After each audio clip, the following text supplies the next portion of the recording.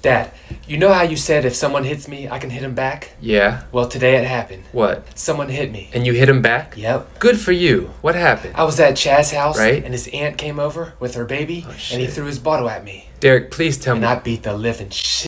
Derek, I checked your. Dad, can I get a ride? No, too? I checked your browsing history. Okay, I was honestly trying to spell pianist, and then all of a sudden that all just popped up, and I did not know that was gonna. I'm talking about these. What? How to hurt your grandma. Sounds some pretty good ideas. Is it illegal to hit your grandma? Turns out, yes, it is. Are old women strong? okay, that one wasn't clear. How much does a hitman cost? Ten thousand dollars. How to make ten thousand dollars fast? Wasn't very helpful. How much is three nickels? Not that much. Where to get a hitman for fifteen cents? There is none. I just don't get it. Are teachers allowed to date students? They are not. What does consent mean? That one wasn't clear either. Is Mr. Turner single? He's not. Who is Mr. Turner's wife? some bitch named Stephanie? Do you go to jail if you cheat on your wife? You don't. Will a hitman take out two people? Grandma, Stephanie. This is ridiculous. Will I go to jail if I hire the hitman? I will. Do you get to take showers with other people in jail? You do. What happens in the shower at jail? Boy, Things that people go to jail for. robbing banks. What does robbery mean? to steal stuff? What is the closest bank to my house? down the street? This is crazy. Where do you need a ride to? U.S. Bank.